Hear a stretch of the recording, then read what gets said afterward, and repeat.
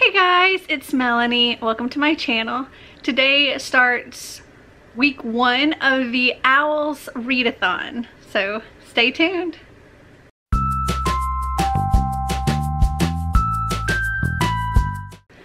So it is Wednesday, April 1st, which means the Owls Readathon has begun.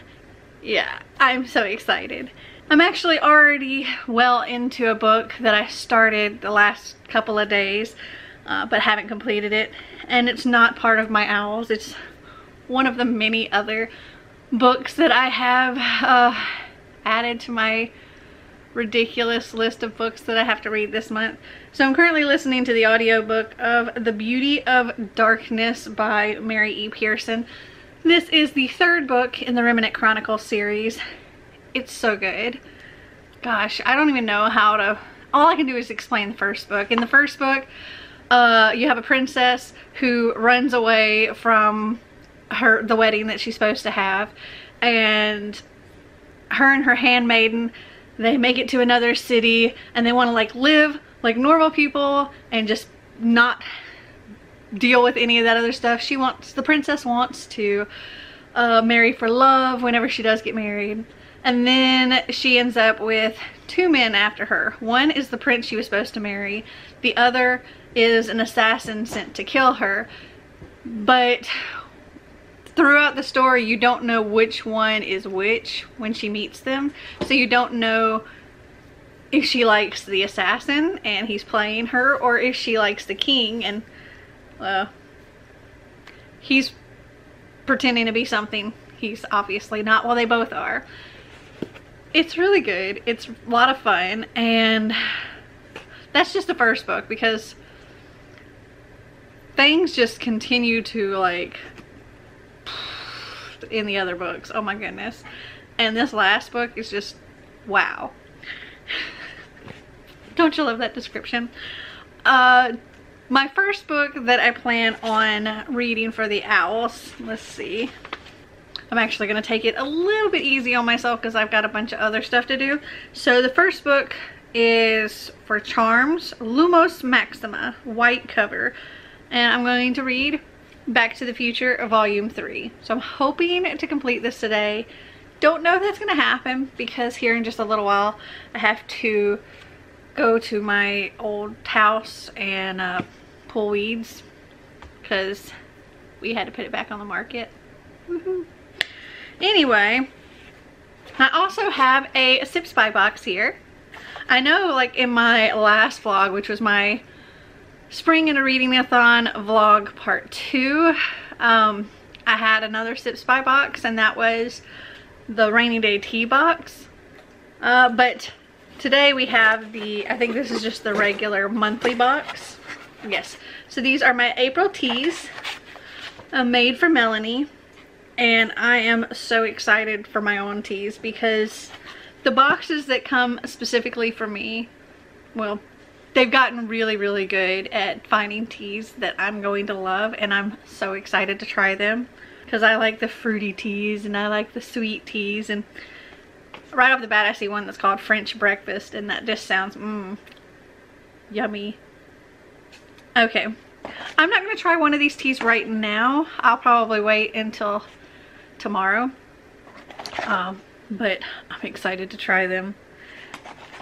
Anyway, you open it up you get this little thing. Teas made for you. You take a quiz. They make tea or select teas that fit your tastes. And then they send them in a box. It's $15 a month though I have a discount code down below for $5 off. So if you're interested click that link. Now I must try to get in a little bit of reading while I have a chance before I have to go to the other house so I think I may sit and try to read this for a little while. And I will just talk to you later. Good morning. So yesterday I did manage to complete a couple of things, which is really awesome. But first, the tea that I decided to go with today, oh, I left the package in there. It was the French breakfast and oh my gosh, it like it's a loose leaf tea and you open it up and it just smells like heaven. Oh, it's so good. It's uh, called French Breakfast by Fava Tea. It's black tea, cran raisins, pineapple bits, safflowers, calendula petals, white cornflowers, and flavor. And it's a high caffeine tea, a blend of vanilla and black tea accompanied by pineapple and cherry to add flavorful sweetness and a burst of character. Enjoy plain or with cream and sweetener. And I mentioned before that I wanted to try teas with cream because I've never done that before. And I tried this tea by itself. It was a super light um, tea and it smelled just like dessert. It smelled like heaven, but I, it was good. It was a very light flavor. Um, it only steeps for like three minutes. So I could have maybe gotten a stronger flavor if I let it steep longer, but uh, I tried it and it was good. But then I added like a tablespoon of sugar-free hazelnut creamer and oh, it's so good. Xander said it smelled like granola. I didn't quite get that, but um, he thought it smelled really, really good too. And he's currently drinking a cuppa as well with the hazelnut creamer in it. And it is so good. I love my Sips by Box. Like the ones that are custom for me because, mmm, okay. Uh, so yesterday, I did manage to finish Who is Marty McFly, the third volume of the Back to the Future graphic novels. This one is about, so these aren't retellings of Back to the Future. They're like adding on little bits um, to the story and this is actually done by the people who wrote the Back to the Future movies. So they do it right. Anyway, with this particular one, it follows Marty with, uh, he's having some seriously internal conflict because, okay, back in 1986, 1985, back in 1985, um, Marty saw the Libyans shoot Doc Brown and Marty escaped to 1955, I believe. And then later in that movie, he comes rushing back to that parking lot and he can see Doc Brown getting shot and Marty taking off and the other Marty taking off in the DeLorean. And so he starts questioning, is he the real Marty or is that other Marty that he could see the real Marty? And uh, this was this was interesting. And then there's like this other scientist who uh, the government was trying to get to build a time machine and he kind of spent his life failing at doing so. And then also this one tells us kind of the backstory a little bit of Needles and like how him and Marty's conflict kind of came to be. I gave it five stars. It was a lot of fun. I love, love, love, love this series. It's so much fun. And my battery's flashing, so let me go change that and I'll be right back. I am back. Sorry if there's an angle change. Okay, so as I said before, I actually completed a couple of things.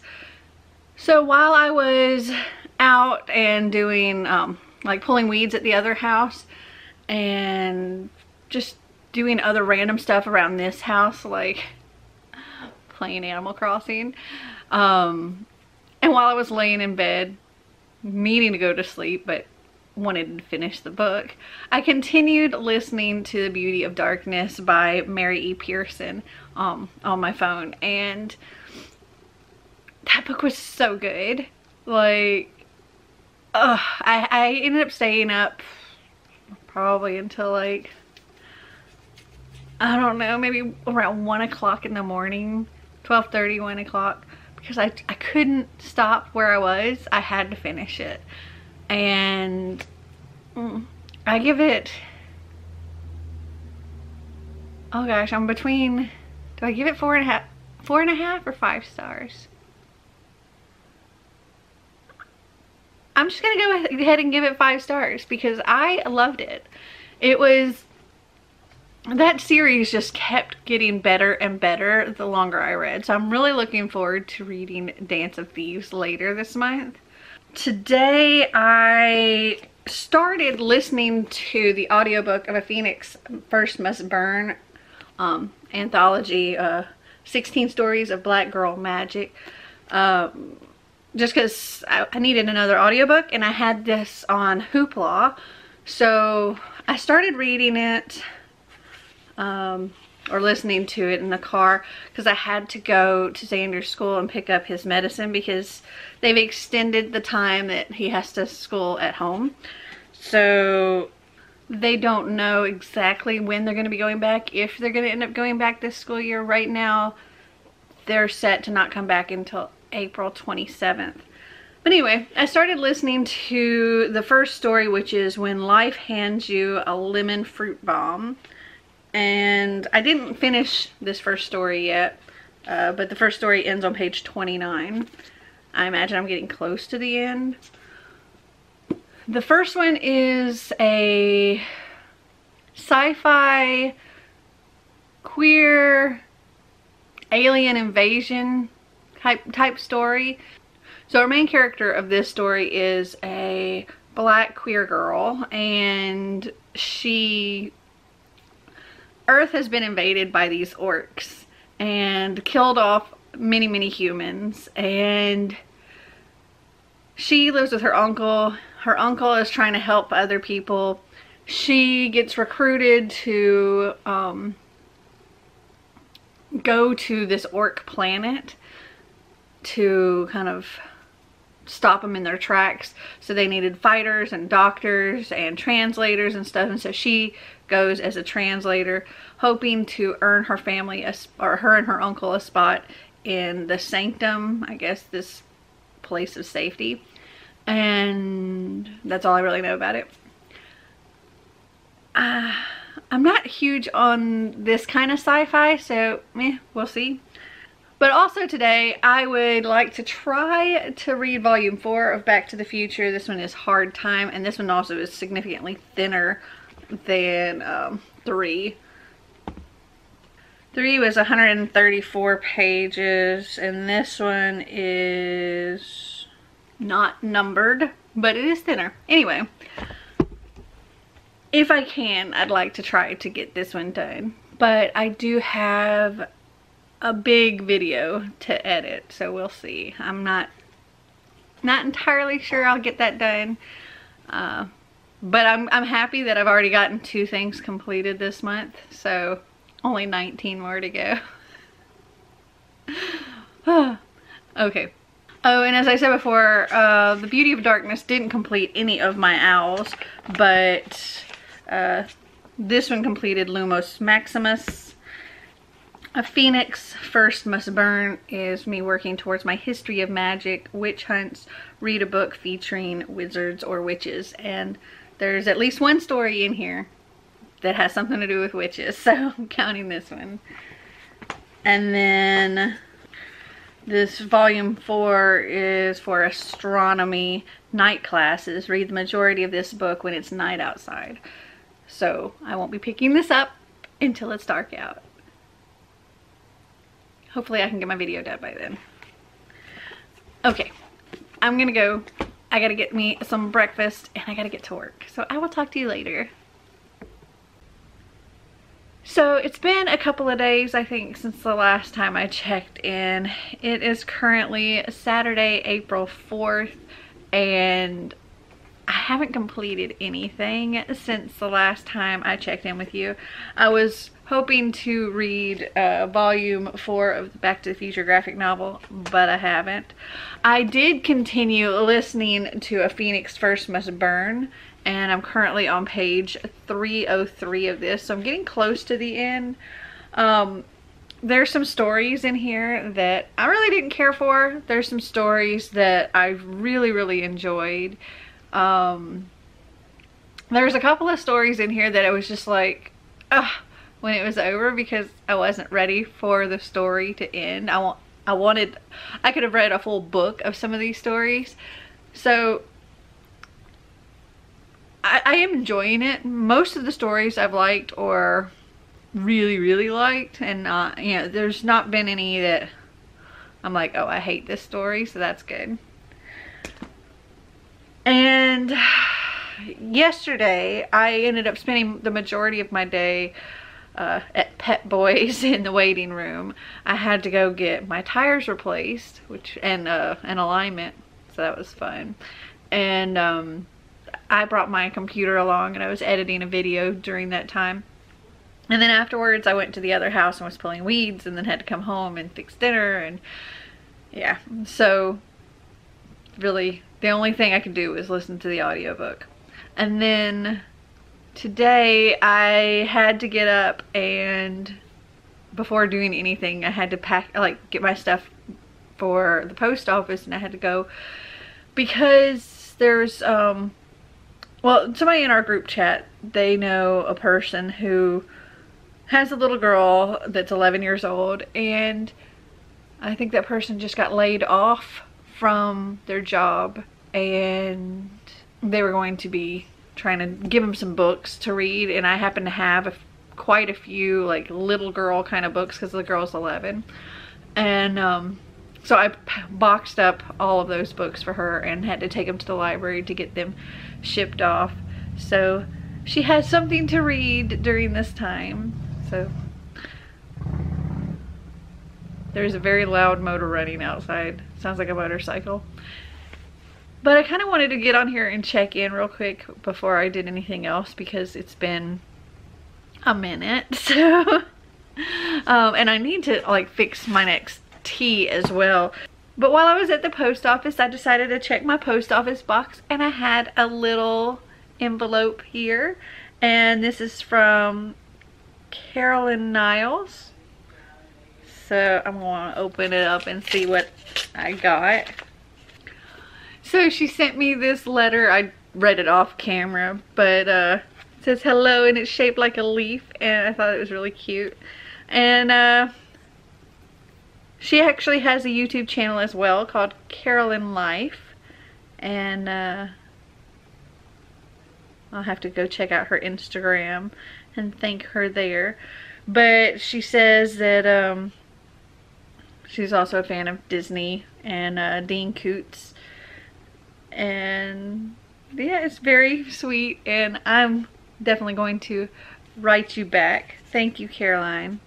It always brightens my day when somebody sends me a, a letter or whatever and I just I think it's really really cool. So thank you. I don't know how much more I'm going to get read today. I'm hoping that I can finish listening to A Phoenix First Must Burn. I have to clean my library so I can maybe listen while I'm doing that. And I have to work out, which I won't be listening to it then because I'll be using my app for that. And I've got to go to the other house and pull weeds some more. Also, I have to get a video edited and uploaded and it's a lot. It's a huge video. There's like three hours of footage, so that's going to take the majority of my day. So yeah, I probably won't get a whole lot more red. But I will check in uh, probably later this evening and let you know if I did manage to get anything done. But also to try one of these teas. I don't know which tea I'm going to try next. Um, let's see. This morning I might go ahead and try just beat it um, okay. So let me go ahead and tell you about Just Beat It now because I'm probably going to do that off camera um, while I'm having my breakfast. And then I may try another one this evening that's like a caffeine free and I can do that on camera. Okay, so Just Beat It by David's Tea.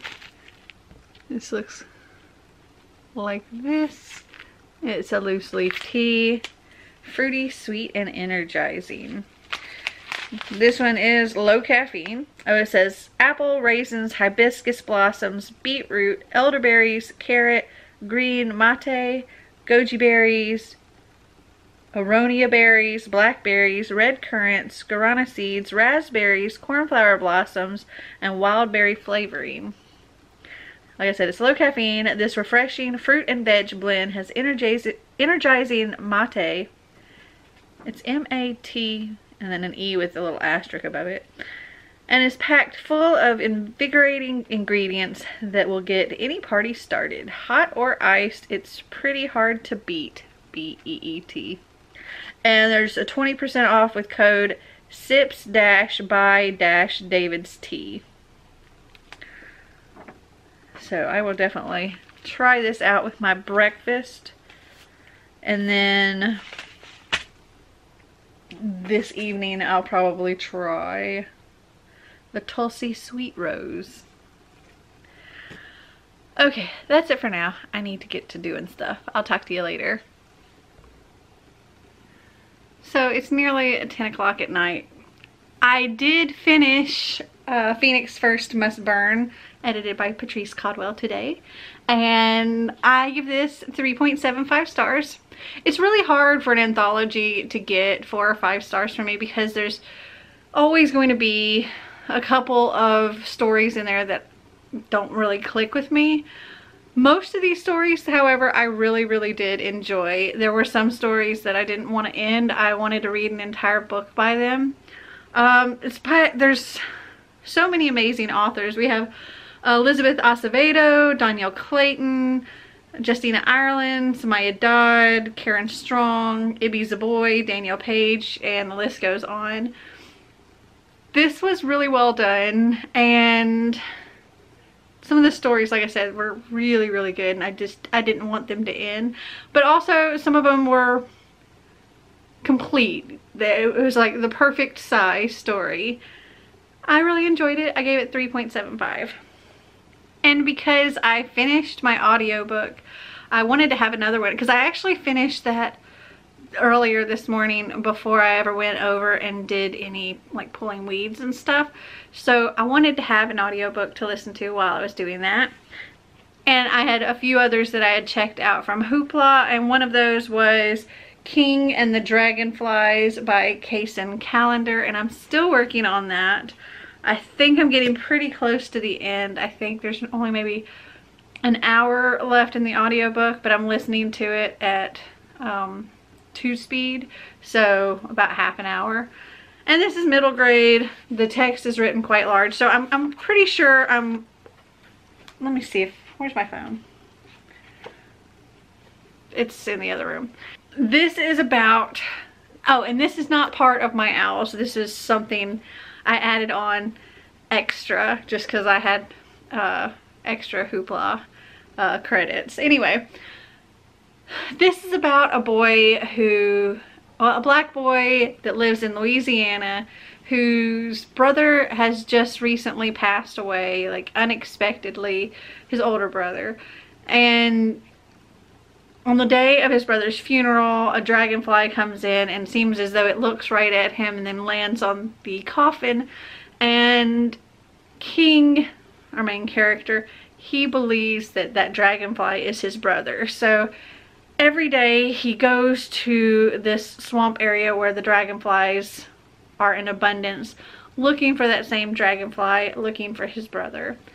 And he believes he sees his brother in his dreams and well this it's really about him moving on. Well in that part of the story it's about him kind of moving on with life and accepting his new normal. And his parents also coming to terms with what happened.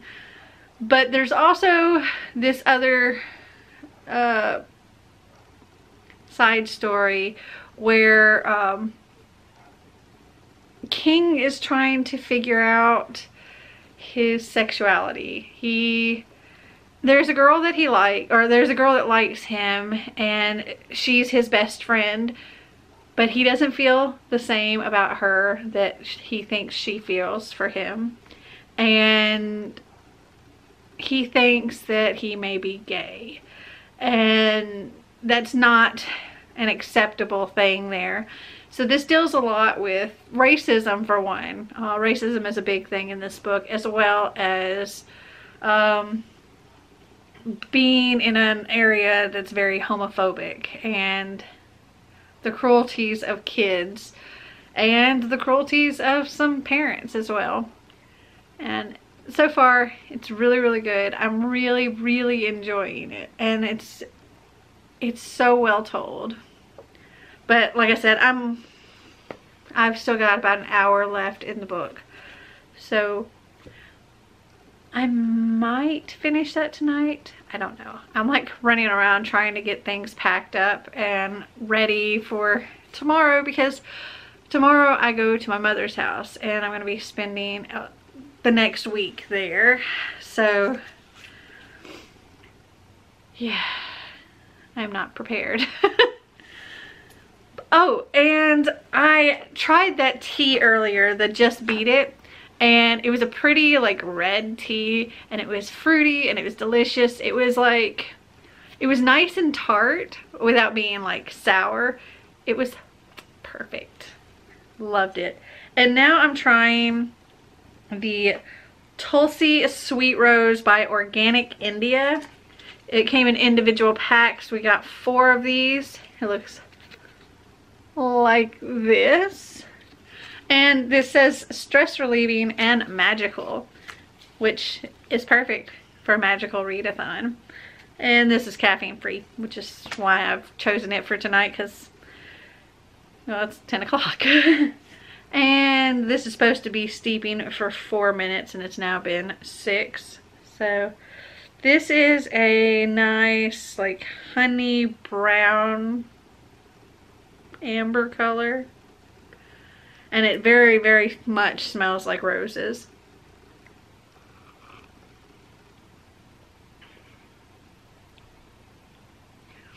It's not bad. I'm not a huge fan of the rose smell, I guess. I don't know. I know a lot of people like like rose water, um, refresher things for their skin. I'm just like, eh. I'm not a big floral person. Unless they're like, I don't know, more sweet smelling.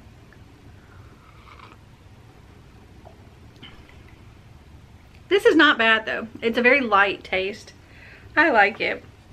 This says organic Krishana Tulsi, organic Rama Tulsi, organic Vana Tulsi, organic chamomile, organic rose, organic lemon myrtle, and organic stevia leaf. It's caffeine free. Revered in India as the queen of herbs, Tulsi, holy basil, supports stress, mood, the immune system, and detoxification. This blend is soothing and stress relieving. And there is a 20% off with code SIPSBY2020. So, if you're interested in any of that. Also, this week I've gotten two more boxes, like limited edition boxes or specialty boxes or whatever from Sips By. So uh, the next two weeks of this magical readathon, I'll be trying more teas. I'll bring one of the boxes with me. Uh, one of them's like immune boosting. That'll be handy. But the only other tea left in this box, I'll probably try in the morning before I head out because I'm going to have a lot of stuff going on in the morning before I get out of this house because I need to work out. I need to pack food that we're going to be taking down there. I need to actually pack us a lunch to eat on our way there. And I got to pack books that I'm taking and my computer and the Nintendo Switch because we got to bring Animal Crossing. And I have to shower. I have to eat. I hope I can get out of here at a reasonable time. Anyway, I probably won't be filming any clip really. Um, I might film one that's like, hey, we're headed out. Or it may just be wait until I get there to film anything.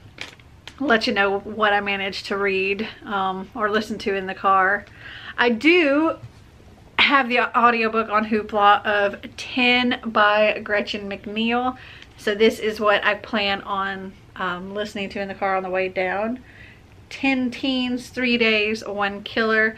This completes, well, my notebook's over there. But whatever owls is the one where uh, you have to read something that's on the like on the coast or by the sea or something like that So that's what I'm reading this one for.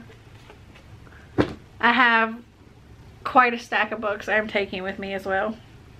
Anyway, the tea that I will try tomorrow is this Miracle Tea. Uh, it's super caffeinated.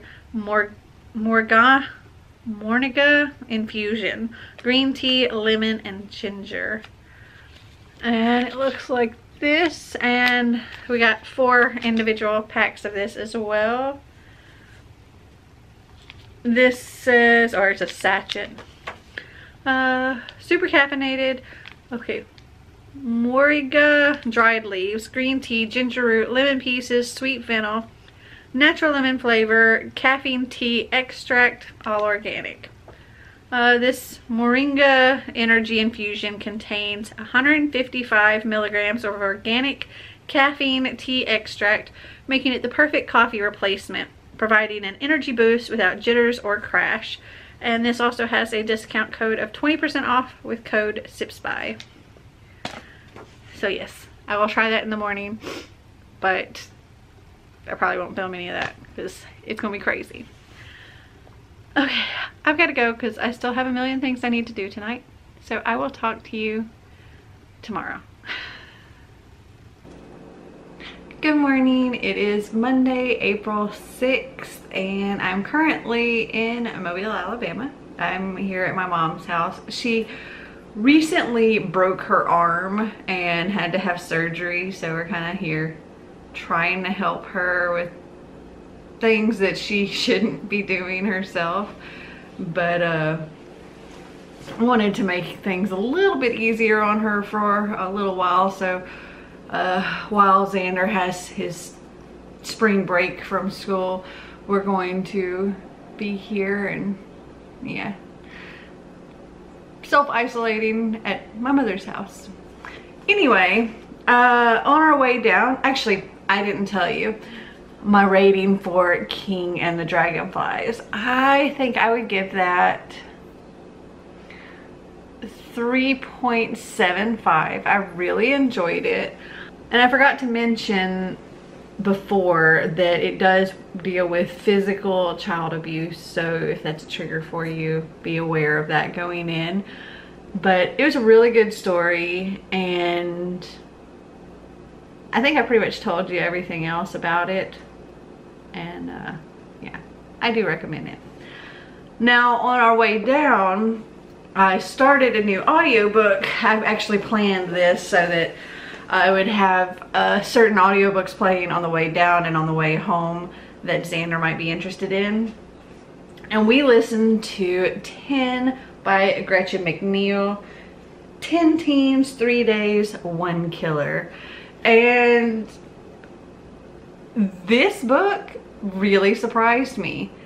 I a lot of times when I'm reading or listening to thrillers, I can kind of guess the who done it or guess, you know, the twist or this or that. And that a lot of times will take away for me, um, especially when it comes to rating a book, it'll take away a little if I kind of see it coming or know what it is or whatever.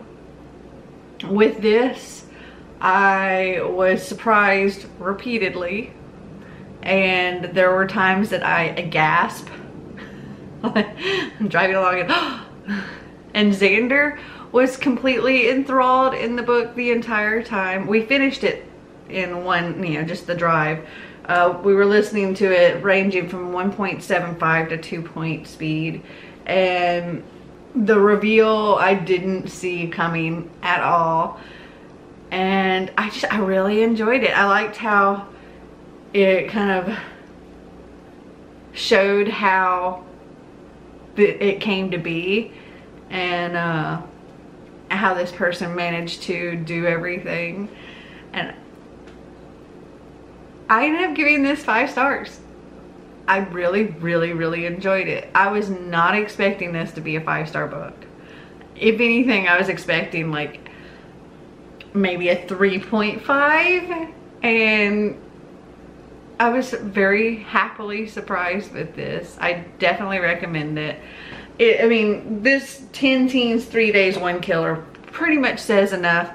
There's this, the, these 10 teens are invited to this house party on this secluded island and on a house that's even more secluded on this secluded island. And um, the host that apparently, you know, that they all think invited doesn't make it out to the party. She's going to be arriving the next day. And then to kind of kill time over the evening, they decide to try to watch a movie. And turns out all the DVD cases are empty, but they did find one DVD that says do not watch. And of course they watch it. And it kind of foreshadows what's coming their way. And uh, the next thing you know, teens start dying. And it's it was it was good. It was intense. It was a lot of fun. I could actually see this playing out in my head as a movie. This would make a very good movie. I mean, I'm sure they already have, there already are movies that are similar to this out there, but I think this particular one would make an excellent movie. I love this story. So five stars for this.